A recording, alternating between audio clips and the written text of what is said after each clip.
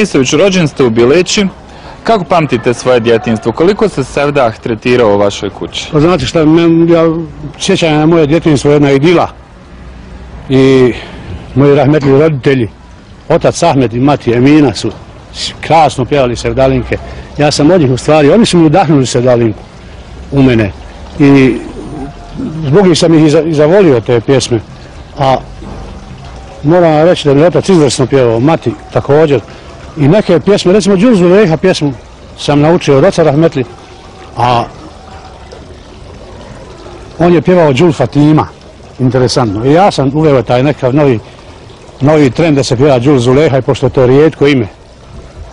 I onda sam po snimanju te pjesme nekako, bilo je nešto otpora, ali sam privolio narod da prihvati to ime Zuleha, pa sad je vrlo često prisutno među djecom. E, nakon Bileće, e, vi i vaša porodica, porodica ste prognani u Banja Luku i tamo ste se školovali, stjecali prijatelje, poznanstva. Da, ja sam završio šestu pučku školu u Banja Luci, mi smo prognani 1941. godine od ove četničke bratije i u Banja Luci smo se lijepo snašli. Ja sam upisao 1943. godine tu pučku školu i sjećam se i mojih učitelja, sjećam se učiteljice Marije Čekrlije i jednog sjajnog učitelja Rasima Rahmetli Krzića, e, čija će čerka doći poslije u Sarajevo na fakultet i kad smo upisali fakultet zajedno, kad su prozvali nju Krzić, ja sam pitao koleginice, a Azra Krzić, recite mi, e, šta je vama Rasim Krzić?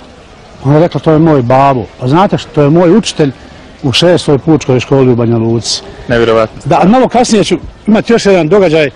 Sreću u Frankfurtu gospodina Muharema Krzića i upoznat se s njim. On se predstavio kao veterinar iz Banja Luke, a bio je otpravnik poslova naše ambasade u Londonu. I kad smo se upoznali na u američkoj ratnoj bazi, zračnoj bazi, Airbase, jel, u Frankfurtu da letimo za Sarajevo na Skupštinu. Pitao sam ga, dobro, ako ste iz Banja Luke, a šta je vama ra, rahmetli, ra, Rasim Krzić, koji još tada bio živ? Rekao je, pa moj babu, pa vidi slučajnosti. I tvoju se sestru pitao 1955. godine šta je Rasim Krzić, isto mi je tako odgovorila. Eto, tako se to neke dobrodošne. U Banja Luci sam završio tu pučku školu i onda smo se vratili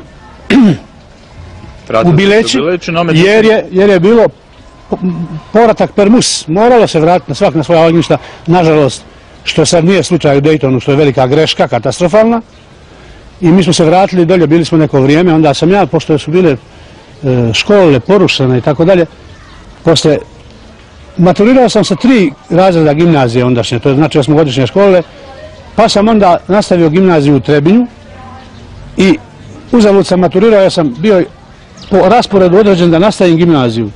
Ja sam jedan od pet ljudi koji slučajno bi dobio kao nagradu nastavak gimnazije 5. 6. 7. 8. i velika matura, a ostali su bili raspoređivani, ne znam, 1, 2, 3, 4, 5, vas 6, poljoprivredna škola Derventa, vas 3, 4, 5, 6, građaninska tehnička škola Sarajevo, vas 5, 5, 6, u mašinsku tehničku školu i tako dalje, tako dalje. Ja sam imao sreće da nastavim gimnaziju u slavnoj Trebinskoj gimnaziji, gdje sam završio četvrti i peti razred.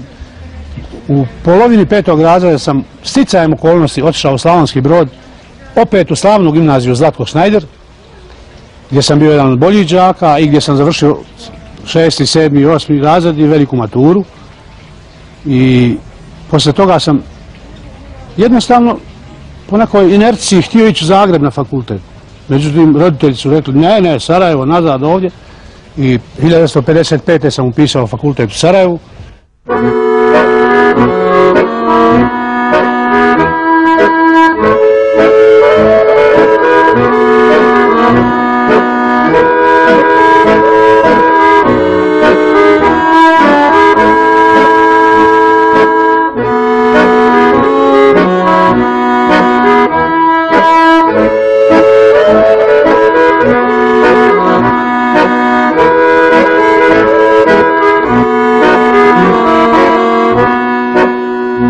Cijela vaša priča o Sevdahu je vezana za Sarajevo, za pravni fakultet i kolege koje ste tamo upoznali.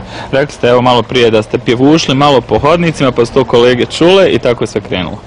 U to vrijeme, 1955. godine, ja sam bio izuzetan poznavatelj francuskog jezika, već u to vrijeme. I onda sam ja upisao francuski jezik, romanistiku u stvari, a ona, se, ona je bila na trećem katu pravosudne palate. Na, znate, a je bio pravni i ekonomski fakultet. I onda sam kasnije upisao čak i dvije godine sam odslušao pravnog fakulteta usput. A dok smo bili u pauzama, recimo za vrijeme između predavanja u auli na onim lukovima, pjevušili smo ponešto, sjećam se Rahmetli Enver Eksa Husrefović iz Mostara je uvijek počinio neku pjesmu, ja bi nastavio, onda su neke starije kolege, studenti, jednostavno među, među, među njima uh, Rahmeti Hasko Haverić, jednostavno ufatio me za ruku, ti moraš u naš ansambl narodnih igara i pjesama akademskog društva, u to vrijeme koje se zvalo Slobodan princip Seljo, i moj to me odvukao tamo na neku audiciju i tamo sam upoznao već formirane starije studente, kolege, formirane muzičare, među kojima je bio uh, Rahmeti Sever Pašić, jel? Poslije će Sever biti najbolji uh, advokat, i, odnosno muzičar među advokatima i advokat među muzičarima i poginuo je naravno 16. marta 1993. godine. Našao sam Rahmeti Suada Baltu, inženjera koji je svirao drugu harmoniku. E, još uvijek su ovdje prisutni neki ljudi koji su svirali violine, recimo orkestar je tada vodio ugledni sarajevski advokat Dragan Trbarić, drugu violinu je, a poslije će preuzeti orkestar kao prvu violinu svirao ugledni advokat Selim Salih Begović, treću violinu svirao inženjer Mio Cvjetičanin, gitaru je svirao Ilija Eli Vulić, danas sekretar univerziteta i s njim je svirao gitaru također Jovica Ajvazović. Kontrabas je svirao Mišo Živojinović, radnik radio televizije Sarajevo, dugogodišnji radnik, a dva klarineta su bila jedan je svirao Mithat Riđanović, poznati jezičar, jeli, poznavati engleskog jezika, i ekonomista, uvaženi bankar Dino Kusturica. Mi smo s tim ansamblom, naravno sa folklorom, obišli već tada cijel, jedan veliki dio Evrope. Išli smo 56. smo već bili u Švicarskoj, kad uopće nije mogao niko izići odavde. Pa 58. smo bili u Njemačkoj na nekoj turneji u Odenwaldu kod Frankfurta i kod uh, u gradovima Erbach i Michelstadt. E, to je bila neka manifestacija Trachtenwoche, e, nedjelja nošnji. Poslije smo išli 1958. godine u martu u, Špo, u Poljsku, u razmjenu neku studentsku sa ansamblom naravno i bili smo u Krakovu, u Zakopanima i tako dalje. Posle poslije toga smo imali bezbroj turneja, a interesantno je da je taj entuzijazam koji je vlada u tom našem ansamblu narodnih igara i pjesama neprevaziđen. Tu, tu sam već zatekao Rahmetli Himz, polovinu doktora koji je bio već na četvrtoj, petoj godini. Poslije je došla mlađa pravnica Zora Dubljević, a izuzetno je pjevala jedna gospođa koja je poginula u Kanadi, e, zvala se Seka Ferizbegović. Tako da smo mi, povremeno mi dolađo i Zajim Mamović da nas malo osnaži. Jedna fantastična generacija. Jedna fantastična generacija koja je stvarno dala u, i u naučnom pogledu i u muzičkom pogledu mnogo, znači, mnogo ovoj našoj Bosni i Hercegovini.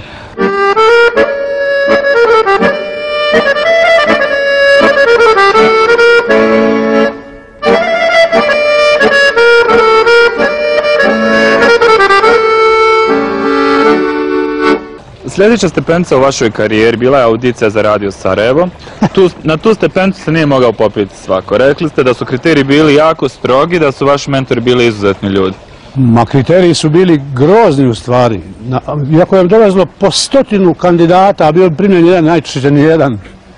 Ja sam došao na audiciju, e, tamo sam upoznao Aleksandra Mlađena, slavnog čovjeka koji je vodio ocijek narodne muzike, a imao je pseudonim Beluš Jungić, čovjek koji je studirao na Mozarteum akademiji u Salzburgu i zato je bio rigorozan. Nama je nekako gledao malo kroz prste, zato smo bili obrazovani i tražio je e, jednu određenu kulturu i obrazovanje kod kandidata, a bio je rigorozan.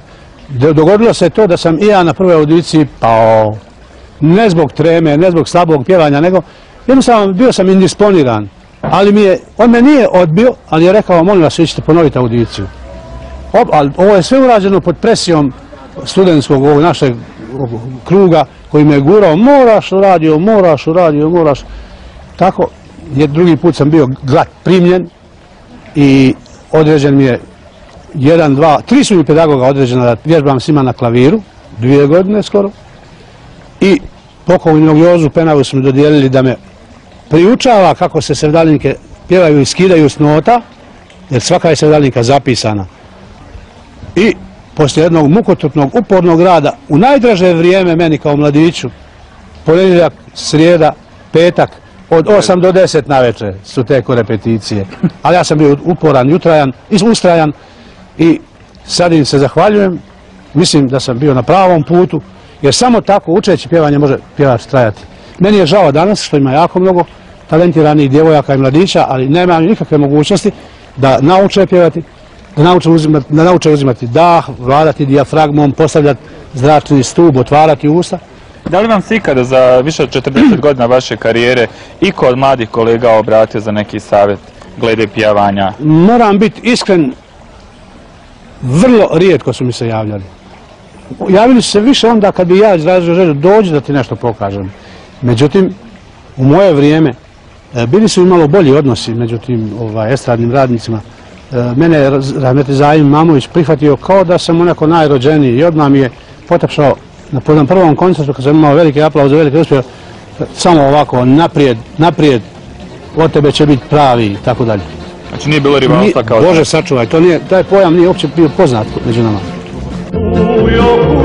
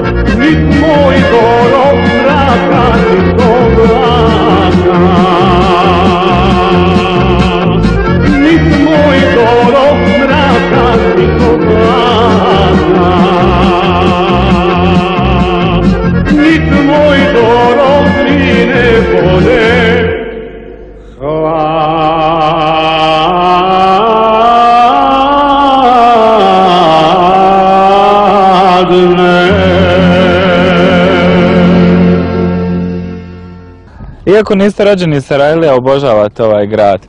Često ste na ovim kotama sa kojima se vidi šeher. Ja imam običaj da svake nedjelje dva puta obićem moje punktove s kojih ja vidim Sarajevo, naravno u Akšam i popušim po jednu cigaru i uživam. S one strane na Bistriku ima nekoliko takvih tačaka, a glavne su mi dvije, ovdje Zmajevac i ova Česma na potrastovima. Jel? Obiđem, stanem, nagledam se i uvijek mi malo Sarajeva. Ja sam dugo u Sarajevu, 50 i nešto godina i mislim da mi je ovo sve što mi je ostalo, Sarajevo i Bosna. I to je, to dvoje nema alternative. Sarajevo je čudan grad. Grad voda, ljepota, zelenila, dobrih ljudi, lijepe omladne, lijepih djevojaka, lijepih momaka. I ko ne osjeti tu čežnju za Sarajevom, kad je u Sarajevu, on je ne treba osjećati nikad je u Americi. Meni su oči uvijek željne Sarajeva. E, 57. godine prvi put je u Eteru pušten e, vaš glas putem radio Sarajeva, dakle Da. putem ovog grada. Šta je to značilo za vas? Velika stvar je radio tad bio sve. Jako mnogo, tad je bio radio sve, jedini medij i danas je za mene glavni medij. E, dakle, ja sam dvije godine prije toga, prije, nepune dvije godine bio primljen u Radio Sarajevo i radio sam sa mojim pedagozima i učiteljima, rekao sam već, napomenuo sam njihova imena, da bih napravio prvi snimak, a opet da bi komisija koja je bila rigorozna preslušala taj snimak i kazala može u eter ili ne može. Tako su dva moja snimka prvi put otišla u eter 6. aprila 1957. godine. To je ono što sam zahvalan publici, što su me dopustili da uđem u njihove domove te davne godine i još me nisu kao ulje zaistirali. E, nakon tog emitovanja na Radio Sarajevu krenuli se vaši nastupi, solistički koncerti koji je bio nemjerljiv broj. I u Sarajevu, i u Beogradu, i u Zagrebu, svugdje ste bili rado viđeni. Vidite, uz podršku mojih kolega prije svega dobrohotnost i meni naklonjenost Zajma Imamovića Rahmetli, ja sam za posle 3, 4, 5 emisija postao vrlo značajna ovaj osoba među pjevačima, među elitom pjevača u Radio Sarajevu. I sjećam se tih prvih koncerata, naravno. Mi smo svake nedjelje ovdje u Sarajevu u malim okolnim domovima kulture, kao što je recimo ovaj tamo na Hridu, ili onaj na Kovačima, ili onaj dole u ovaj u Novom Sarajevu, ili u vatrogasnom domu u Novom Sarajevu, imali neke male nastupe, svake nedjelje. Naravno, to su mali je broj bio publike, to su skromne dvorane, a prvi veliki moj nastup dogodio se u Beogradu prilikom otvaranja Beogradskog sajma i sajmišta, septembra mjeseca 1957. godine i tad sam prvi put se pojavio pred 14.000 gledalaca na stadionu Taš Majdan i malte ne dogodio se zemljotres na Taš Majdanu, toliko sam imao velike, veliki uspjeh i ovacije. Sjećam se, pratila su dva orkestra, pjevače, orkestar, narodni orkestar pokojnog Vlastimira Pavlovića, Carevca, a mene je pratio veliki tamburaški orkestar Makse Popova. Pjevao sam pjesmu Nispolje idu babo sejmeni, za njih nešto novo u to vrijeme i ja mislim da su me vraćali 7-8 puta na, na binu, nazad na bis i to je jedan od, od jedan, i to je jedan od načina osvajanja Beograda. Mog, mog osvajanja Beograda. Poslije sam u domu sindikata imao bezbroj koncerata, svakako sam tu rekorder. Čini mi se nekoliko stotina. Samo u domu sindikata. Da bih 19. marta 1963. godine u jednoj krasnoj organizaciji dao solistički koncert u domu sindikata, jedan nezaboravni koncert gdje je svako sjedište imalo jedan mali buket stručić ljubičica i moj program. Koncert sam počeo tako što sam se pojavio na ulazu u Duranu i počeo pjevati Imao sam tada neki uređaj koji je zvao mikroport u džepu, koji je zatajio. I ja sam krenuo punim glasom, čuo me svako u Durani, prolomio se aplauz, izišao na, na binu i nastavio. To je jedan, tako jedan grandiozni moj uspjeh u Domu sindikata koji je objavljen u novinama kao, pošto sam pjevao Mujo Kuje, Safet Kuje pod reflektorima, moram vam pokazati snimak koji sam naravno povećao i iz Beogradskih večernjih novosti. E, tako je počelo, poslije je dolazilo, dolazili su kontakt širom zemlje, sjećam se dobro, 60, 1961. E, godine da sam imao koncert u Zagrebu na prepunom stadionu Šalata. Desetak hiljada je bilo posjetitelja i sjećam se Rahmetli Badema Sokolović, udata Štajcer, udata za našeg čuvenog dirigenta Štajcera, Ivana Štajcera, došla je i sjedila u prvom redu da mi aplaudira. Vama je to mnogo značilo?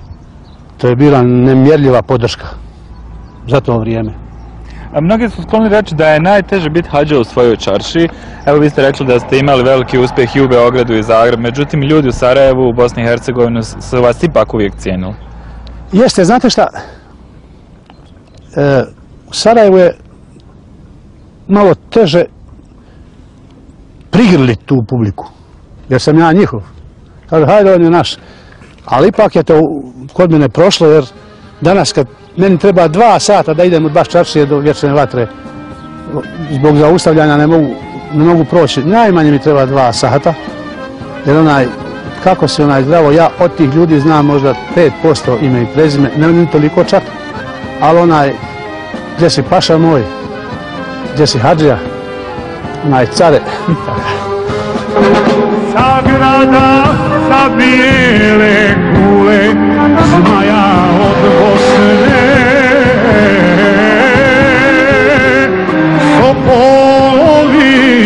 zaklikali, kajde žalosne.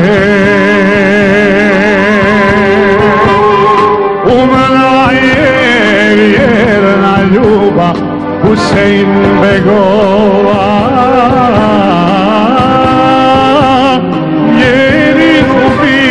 gospodara srca svojega jer gospodara srca svojega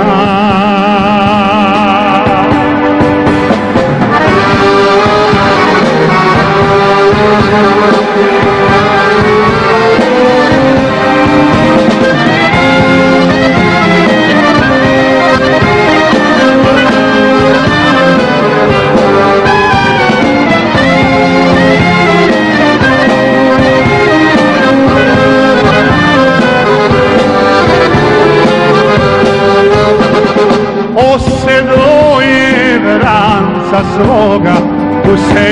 kapetan.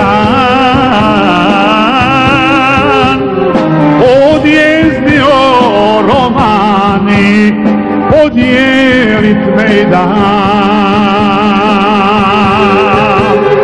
Na carda vjerna ljuba Allah illallah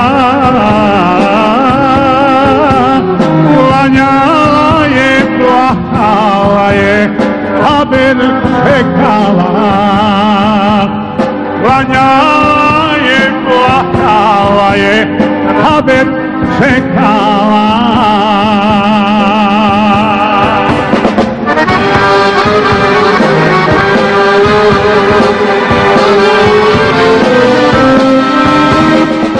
Bili ste jedna od najvećih zvijezda na prostor bivše Jugoslavije, mogli ste sad priuštiti skoro pa sve. E, šta je to što vam je falilo u onom sistemu, što niste imali, a šta je to što vam danas fali iz onog sistema? Pa sad ću vam reći, u onom sistemu bilo je nekakvih sloboda, to su u stvari polu slobode. Ali što se tiče mene i mog posla i rada, bila je prisutna enormna pljačka. Neviđena pljačka onoga što sam ja zaradio. Zamislite vi, a zna se u stvari da sam ja kod Jugotona i kod radio televizije Beograd RTB-a, pa poslije kod Diskotona, prodao nekoliko miliona tih nosača zvuka. Ja sam kao najvrhunski imao 6%.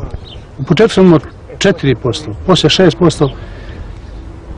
Neposredno pred agresiju kod e, Beograd diska sam imao 10%, to je kratko trajalo. Svatite, kad sam ja imao 6% od prodatih mojih dijela, a od tih 6% uzme autorska agencija 5% na iz tog iznosa na proviziju, pa se plati savezni, državni i općinski porez od toga i onda ono što ostane tih ogrizaka do, ja sam dobivao. Inače, po tome što je trebalo da dobijem, jer trebalo biti mog dvije tvornice sad ili nešto slično tome. To je bila enormna plačka. Pljačka, kad vam samo kažem u poređenju, da je trgovina od tih prodatih mojih dijela imala 44%. Naravno što je išlo u državni budžet, odakle su visoki funkcioneri pravili vile, stanove i, i ne druge finansirali stvari, jel? Međutim, e, ljudi vaših godina, vaše generacije pa kažu da su bolje živjeli prije. Što je to recimo što vam iz tog sistema nedostaje danas? Po čemu pamtite? Reći, Lijepo po čemu pamtite? Bolje živjelo. Živjelo se bolje jer je bila e, stabilna zemlja. Mi smo prije nekoliko godina preživjeli katastrofalnu agresiju. I onaj ko očekuje da odmah može bolje živjeti, vara se. Ali će sigurno bolje živjeti uskoro nego što je živio u komunizmu, gdje je bilo i dobrih stvari naravno, ali gdje je za dvije riječi otišao na Goli otok ili, ili u Zenicu, u Kazamat ili u Sremsku Mitrovicu. Kad to kažem, šta onda, je? Te slobode su bile uskraćene u to vrijeme. Bolje se živjelo, bilo, bili su, e, bilo je više mnogo ovaj, mogućnosti, kupovna moć je bila bolja relativno, jer je dugo trajala ta stabilizacija te zemlje od 45. godine, a mi hoćemo sad preko noći, to ne može. Mi smo porušeni, mi smo uništeni u stvari. Kao velika zvijezda u Jugoslaviji bili ste u prilici upoznati dosta poznatih viđenih ljudi, među njima i maršala Tita. E, prije nekoliko dana obilježeno je 23 godine njegove smrti i danas se vode mnoge polemke, da li je njegovo djelo dobro ili loše. Kako je vaše mišljenje o tom čovjeku i njegovom djelu? Ja sam to čovjeka mnogo, vrlo dobro poznavao i on mene. I mislim da sam bio 25-6 puta kod njega i 7 čak. Znao sam sjediti sam s njim. Znao sam sjediti između njega i njegove supruge Jovanke. Zato se ja i danas bunim što je recimo takvu ružnu sudbinu doživjela njegova supruga, supruga jednog, jednog velikog državnika, doživjela da nema grijanja, da živi u jednoj E, ruiniranoj vili i tako dalje, tako dalje, da je maltretiraju, da je otimaju garderobu i tako dalje. To je sramotno. Jer Tito je bio jedan veliki državnik, veliki čovjek. Druga je stvar što one, e, govoriti o njegovim greškama se može također, međutim, njega treba ostaviti na miru, pretpustiti iz historije i povijesti, a nisam da se grdi, nisam da se ni previše veliča. Mislim da griješe neke ljudi, neki ljudi koji danas osnivaju neka udruženja, Maršal Tito i ono, čovjeka treba prepustiti povijesti i historiji i da odsanja svoj vječni san. On je bio jedan vrijedan čovjek, valjao nam je u naj, najtežim trenucima 48. godine pa i poslije stvari valjao nam je svakako jer je držao ovu balkanoidnu barbarsku felu na uzdama vrlo dugo, predugo kak, kakav je narod u pitanju. Kažu da ste vi bili Ovanki omiljeni pjevač, da je uživalo u vašem glasu, vašem pjesmama. Jesam i vrlo sam često bio među njima, kažem, i često sam im pjevao. E, Tito je bila posebna osoba, on je ovaj, bio naklonjen ljudima, on nikad nije došao ili u Stojčevac ili ovdje u Domu armije ili u Beograd, u Domu mladine ili u Bijeli dvor ili bilo gdje, a da se nije uvijek da je nije da je vrlo ljubazno, srdačno se pozdravio sa svojim pjegavim rukama, jeli? Bile su mu ruke jako pjegave kao sračije jaje i on je svakim pozdravio. Kad je se to završila ceremonija, uvijek je uvijek se zahvalio i uvijek je došao ponovo da se pozdravi, pa eto vidjet ćemo se Bogom opet, kako da kažem, jeli? I o njemu treba da govori objektivna, posmatračka, jedna intelektualna sredina, povijesno, a ne kako ko stigne na ulici, u kafani i tako dalje.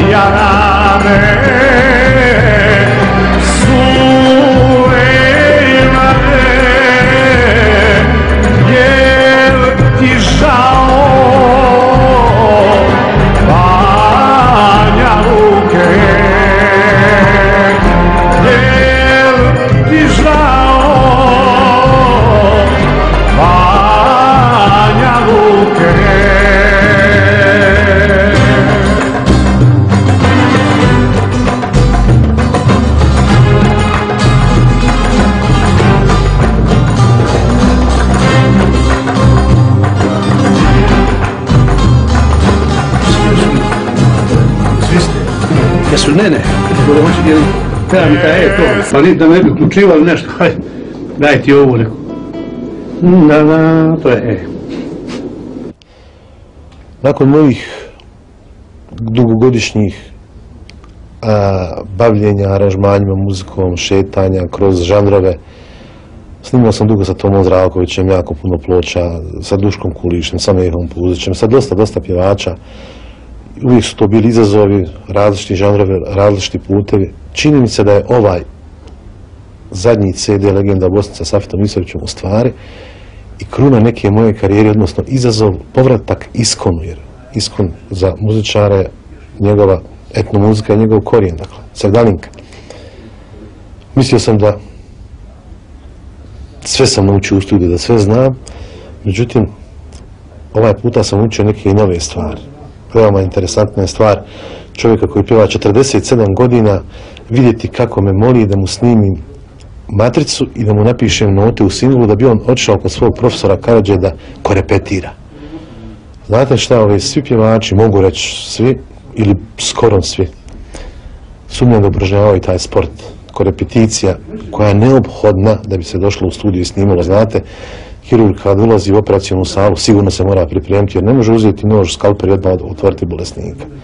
Safet se pomno pripremio za ovaj CD. Dakle, uzeo je notni materijal, odnio kod profesora Karadže, iskorepetirao svaki ton. Kad je došao u studiju, to jednostavno ostalo samo da se dotiraju finese. Na tim finesama smo radili CD takav da jednostavno premašuje i mislim dosadašnje safetove sve CD-ove u produkcijskom smislu, jer znate šta, reći vam jednu istinu koja je mene najviše potjerala da uh, vršim pritisak konstantan koji je trajao skoro dvije godine na safeta da snimim ovaj materijal. Safet je bio u jednom e, stanju latargije, bilo mu je dosta svega, e, jedan nepošten odnos i društva i, i, i, i medija prema njemu koji je, koji je u zadnjih godina bio prisutan, ne možemo to negirati. Ali kad smo se sjeli dogovorili šta da radimo, e, jednostavno sam, čini mi se, ispoštovao Safetovo ogromno ime, ono gromado od početka. Dakle, dosadašnji Safetovi materijali su bili, čini mi se, rađeni na način, hajmo, brzo ćemo napraviti aranžmane, brzo ćemo to snimiti, Safetov maestralni glas će sve to poklopiti i bit će sve u redu. E ne, ja sam tjerao da orkestar ovdje aranžmani budu maksimalno dobri, da postignemo svoj taj optimalni maksimum, da bi onda maestro došao jednostavno stavio tačku na to sve. Ovdje u studiju gospodina Faruka Jašća nastao je vaš e, posljednji studijski materijal koji se zove Legenda o Bosni. Šta vas je spojilo s tim vrsnim instrumentalstvom i čovjekom koji zaista cijeni Sevdah? Pa znate, ja Faruka podavno znam. U stvari, imam nekakve veze rodbinske s njim. A najviše ga znam po tome što je dugo svirao u radiju Sarajevu u orkestru slavnog, neadmašnog Rahmetli Ismeta Alajbegovića Šerbe, gdje je izuzetno muzicirao i poslije sam saznao i nisam ni sumnjao da će biti jedan od najboljih aranžera. A veličina je njegova u tome što on Sevdalinke aranžira u modernom jednom trendu, na jedan modern način, gdje melodija ostaje 100% autentična, ali harmonske postave i ritmička, rit, rit, ritmička zbivanja su nešto novo. To je upravo to što, kako se Sevdalinka može prezentirati van granica Bosne i Hercegovine. Nek sazovi sviraju. Evo recimo u ovoj pjesmi Put putuje Latifega. Nekoliko sazova vuče naprijed i daju taj štim i zvuk stare Bosne, a tempo je latinoamerički ozada i kad se to spoji izvanredna je jedna ovaj Dakle, nije bilo razmimoženja u mišljenju prilikom ne. stvaranja pjesama. A, pa bude kad nešto radimo, bude nesporazuma. Ja neću ovo, on hoće ovo, ali nađemo se uvijek u jednoj, na, na, napravimo zajednički rezultant u jednom. Jer ne, niko ne može biti isključiv. Ja imam ogromno iskustvo jedno. I oni to mahom svi poštuju. Znaju da ja neću ništa napraviti na uštrb kvaliteta i da sam dobronamjeran, a i veoma iskusan. I mene izuzetno tu prihvataju naši ovi momci koji su organizirani u ovoj, na ovom našem CD-u. U vašem opusu je na stotinu Sevdalinki. Na koji način ste napravili odabir onih najboljih da biste uvrstili na ovaj CD? Vjerujem da nije bilo ovako. Pa znate što ne možemo reći da su ovo najbolje. ovo su pjesme, ja moram drugačije to ovaj, formulirati. Ovo su pjesme koje sam ja nekad pjevao i izvodio sa drugim orkestrima. Nekoliko pjesama.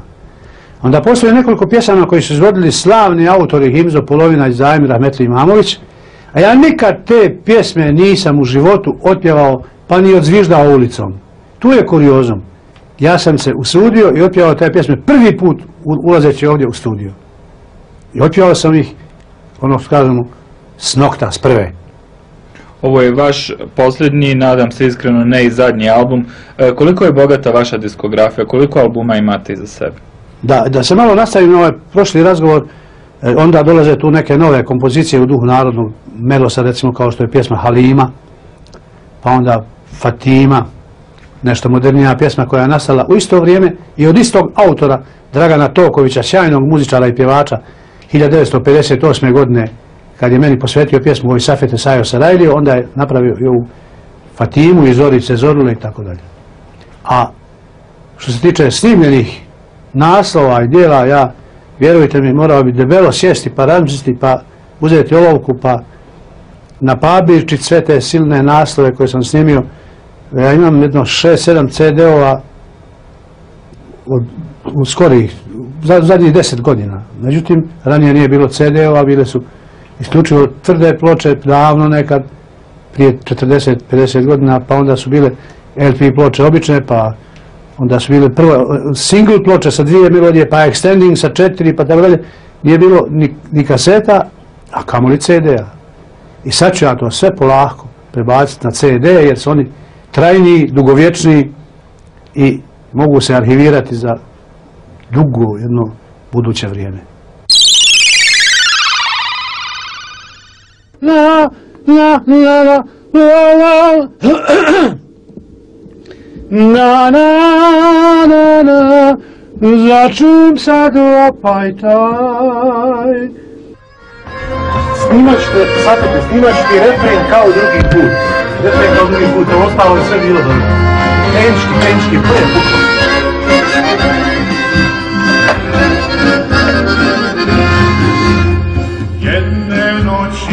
šeto sam gradom sokacima iz mladosti moje. Pred kapijom Alajbega starog, dvoje mladih zagrljeni svoje. Pred starog, dvoje mladih zagrljeni svoje. Je je sada lijepa halima, što je sreću moju odnijela. I dok lutam tamrim noćima, tebe srti ljubi, halima. İ dok lutam tamnim noćima tebe drugi ljubi halima. O mestre, no, no, no.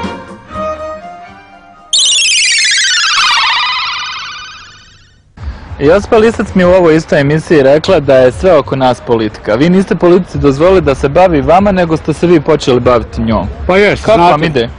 Pa vrlo dobro, čak odlično. Ja sam, iskreno govori, tačno je da je sve politika. Ja sam se politikom bavio, vjerovali ili ne, i u srednjoj školi. Zamrzio sam neke stvari koje su događale 1948. godine, utjerivanje nasilu u zadruge, ljude koji su bili imućni, tjerajući da zemlju daju u neku zadružnu svojinu, imanja, sredstva proizvodnja i tako dalje.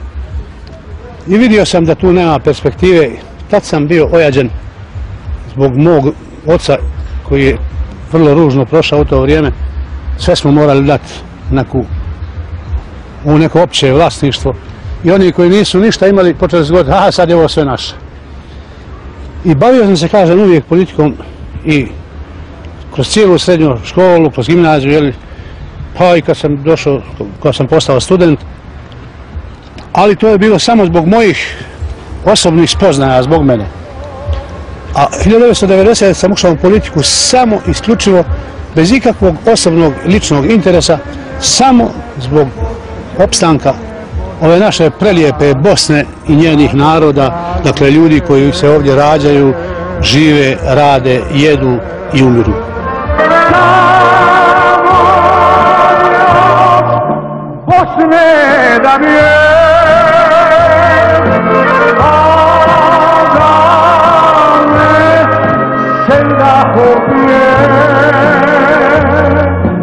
da me bude pjesme stare i moj jezin sanare za bijele džamije.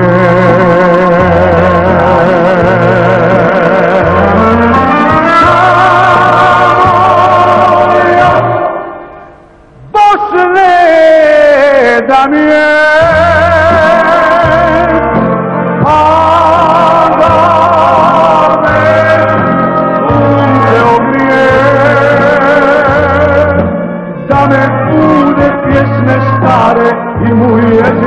samunare sa bijele. U proteklom ratu bili ste ranjeni, jedan ste od e, stotina hiljada civilnih žrtava rata i Sarajeva ste otišli na liječenje u Njemačku. O čem ste razmišljali u tim momentima? Vjerujem da vam nije bilo lako. Da li ste ikada razmišljali da prestanete pjevati, da se prestanete baviti ovim poslom? Ne. Ja sam i civilna i vojna žrtva, imam vojnu knjižicu. Naravno, bez ikakvih beneficija, nisam ništa tražio, samo sam kao poslanik dobio vojnu knjižicu, ja sam učestvo u organizaciji odbrana i tako dalje, na veliko. A što se tiče te civilne žrtve, ja nikad nisam ni otišao na procenu moje invalidnosti, koja je ogromna. Nikakve beneficije, niti sam tražio, niti mi trebaju. Ja sam stradao zbog zalaganja za Bosnu i narod njen, na tome nisam htio to naplatiti, mada drugi svi treba da budu stimulirani, jer su ostali hendikepirani, unakaženi, nesposobni. Prema tome treba ih stimulirati i borcima treba dati sve što, ih, što im pripada i što zaslužuju. Hvala Bogu, pa ne pripadate skupni penzionera koja preživljava od svoje crkavice. Vi ste jako aktivni. Kako provodite dane kao penzioner? Znate kako? Ja sam već jednom rekao, toliko sam u prošloj, prošlom sistemu dao materijalnih sredstava državi, da me je sramota reći sad kolika mi je penzija. Moja penzija je 164 marke, dakle da sam čuvao ovce i koze imao bih veću, ali moram napraviti jednu ispravku, ja sam manje važan tu, moja niska penzija. Ja bih volio da drugi penzioneri, umirovljenici imaju toliko koliko im je dovoljno da vode, eto tako, da kažem, goli život. Da imaju nekakav, neku egzistenciju i opstanak. Znate šta? Meni je žao što na neki način ne tražim nikakvu zahvalnost niti priznanje sve za ono što sam radio od 90. ovamo i ranjavanja i tako dalje. Ja bih volio da su me stimulirali za ono što sam uradio do 1990. godine. Dakle, ovo halal bilo ovo od agresije pa na ovamo. Ali to koliko sam ja zavrijedio do agresije sa silnim mojim koncertima prodatim pločama, prodatim kasetama, zaista koliko sam dao državi novca, to je jedna enormna velika cifra, jer kažem da, me, da su me stimulirali dotle, na primjer da sam uvijek bio u nekom zapečku, ja niti sam tražio društveno-politička priznanja, niti mi trebaju, ali je sramotno da sam ja 1970. i 71. godine dva puta nominiran za šestoaprilsku nagradu od najeminentnijih građana Sarajeva. Jednostavno sam samo prešli su preko mog imena kao preko neke mutne vode. To mi je žao. Danas kad mi je ponudi, ponudili, ja bih je odbio. Isto onako, još možda rigoroznije nego što je Marko Vešović radio, na tom mu čestitam, jer ne bih se htio izjednačiti sa mnogima koji su primili šestaprilske nagrade, a bili su neprijatelji ove Bosne, jer ova Bosna i grad Sarajevo nevjerovatno bilo suviše gostoljubiv ambijent za mnoge ljude koji su ovdje dolazili. Da li vam je ova grad, ova država dala status slobodnog umjetnika? Ne. Ja sam u prošlom sistemu proglašen slobodnim umjetnikom, dobitnik sam najviše što može imati čovjek priznanja iz struke, to ih ja imam. Dobitnik sam estradne radnik, nagrade Bosne i Hercegovine i estradne povelje bivše Jugoslavije, Socialističke republike Jugoslavije, a ostalih zlatnih ploča, 30 i nešto srebrnih, ne znam još više, zlatnih mikrofona, srebrnih mikrofona, bronzanih mikrofona, drugih priznanja, na svakom festivalu na kom sam učestvovao, najmanju ruku sam dobio jednu nagradu, ali najčešće sam bivao pobjednik. To neko ovdje sve zanemaruje, meni to nije ni važna stvar. Cijeni vas publika, što je najbolje? Ja imam svoj, svoju publiku, imam svoj grad, svoju državu, svoj narod koji me dočekuje na ulici sa gdje si, šta si zdravo, onaj, kako si onaj, gdje si paša moj, onaj, gdje si care moj, tako da, meni je to najveća nagrada. Ali ja uvijek volim reći, Safet Isve što je moj drug. I na neki način život smo proveli tako da je to prijateljsko i drugarsko između nas uvijek bilo važnije i transparentnije nego bilo šta drugo. A na mene je svakako presudno uticalo mnogo toga što je on uradio, mislio, o čemu je govorio.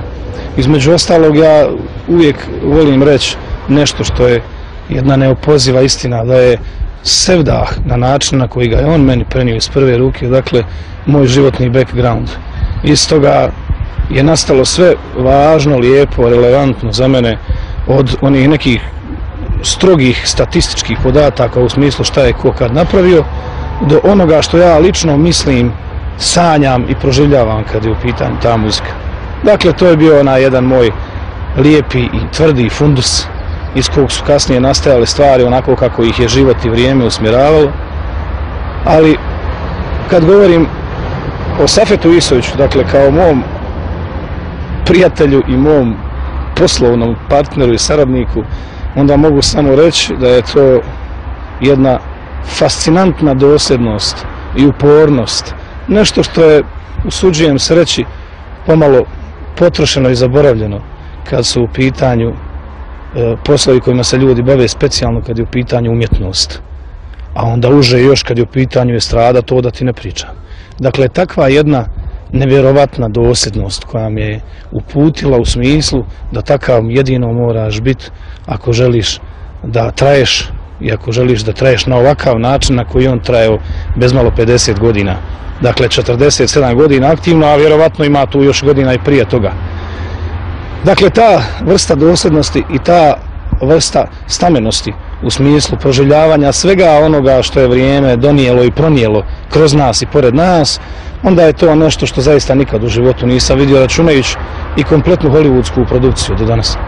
Jednostavno se radi o čovjeku koji je sa jednom e, takvom nevjerovatnom snagom duha, naj, o tome dakle najprije govorim, a onda i svog poimanja umjetnosti onoga što radi, uspio amortizirati sve ono loše što mu se desilo i sve one nevjerovatne, nag, nevjerovatno nagle promjene koje ja ne znam da li je to uputno reći na mjesto, ali ne znam ko bi uspio na takav način podnijeti.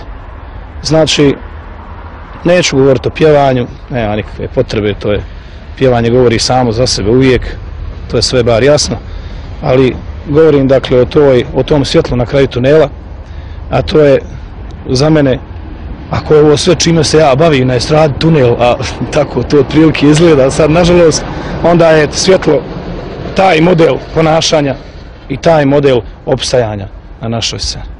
Ljubav ka muzici, ka pjesmi prenijeli ste i na svog sina Benjamina. Da. Koji pjeva, koji se okušao kao autor, što vi, koliko ja znam, nikad niste. Niste pisali pjesmu? Ja imam, to sam nedavno rekao, iz Hira napisani 23 pjesme.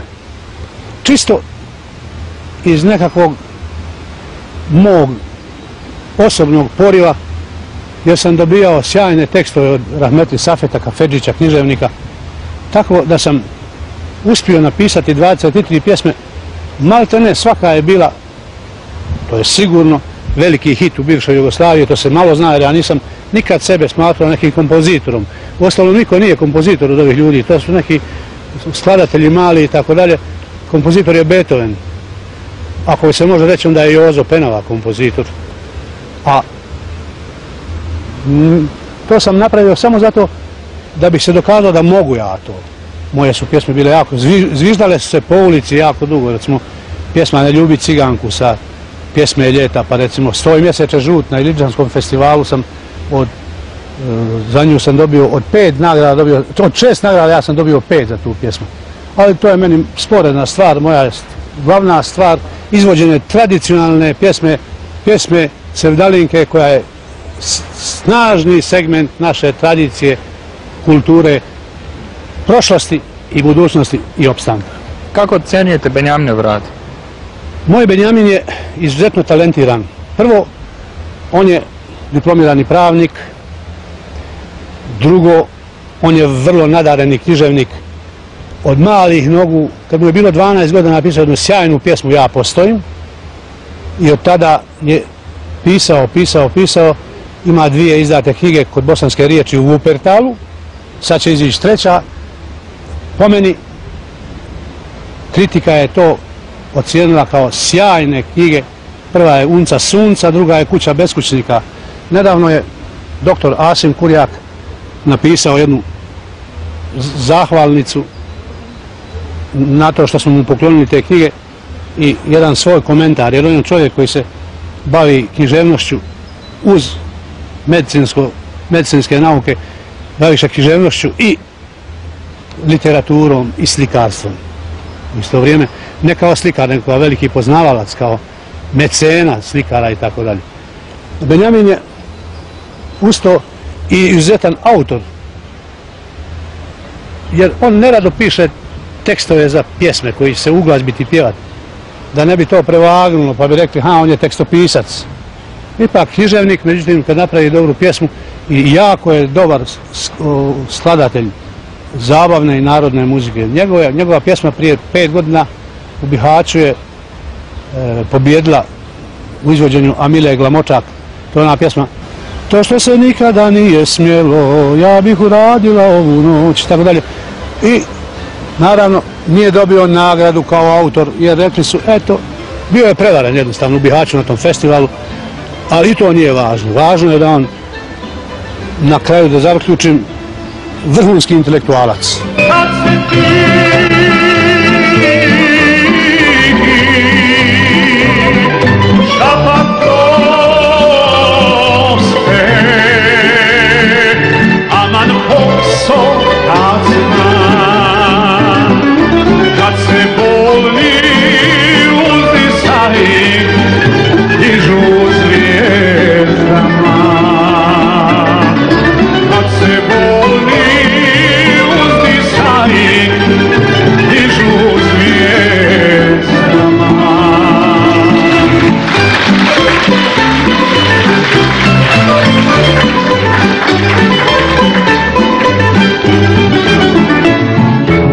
Benjamin ima malu čerkicu Esmu, da li dedo je na nju prenosi ljubav prema muzici? Je li joj pjeva često? U svakom slučaju, znate da je djeto već talentirano. Zamislite, kad je prvi put čulo moju pjesmu Fatinom, prije, a njoj je tek dvije godine i dva mjeseca tada bilo, počela je da skače, da igra i, pono, i stalno traži Fatima, Fatima, Fatima. Ona nosi onaj tempo i onaj ritam. A mislim da ima izuzetno mnogo smisla za muziku već pjeva, recimo, sa dvije godine pjeva je pjesmu Sve pitiće izgoje, sve pitiće izgoje i tako sa tačno melodijom. A da ne kažem ringe, ringe, raja, pa ne znam, ove pjesme dječje, savršeno tonski, tačno pjeva. I cijela ove priče mogu bi se zaključiti da ste vi zaista sretan čovjek. Sa ma jesam, ma ja sam dobio bingo davno.